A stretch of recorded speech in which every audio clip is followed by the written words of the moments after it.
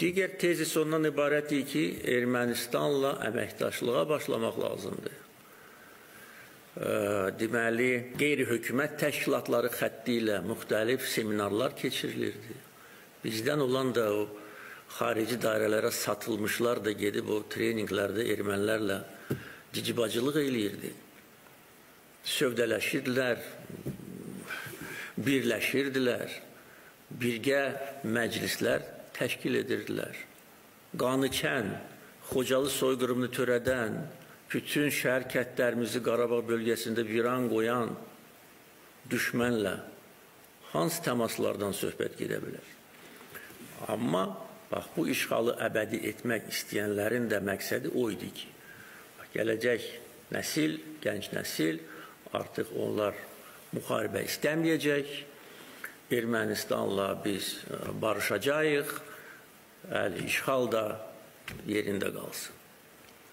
Bax bütün bu planları biz Azərbaycan xalqı darmadağın etdik. Alt üst etdik.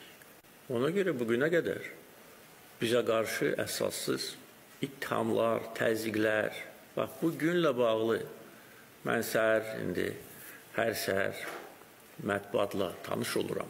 O cümlədən Azərbaycan haqqında dünyanın müxtəlif yerlərində gedən deməli yazılarla tanış oluram.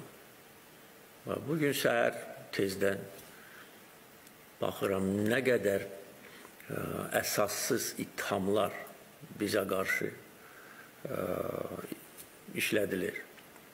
Özdə müxtəlif qərb ölkələrinin siyasətçiləri və yüksək vəzifə tutanlar, bəzi ölkələrin rəsmi nümayəndələri belə bir ə, qəbul edilməz ifadələr işlədirlər ki, Azərbaycan Qarabağı zəbt edib, Yəni bu ikiyüzlülüyün, riyakarlığın zirvəsidir.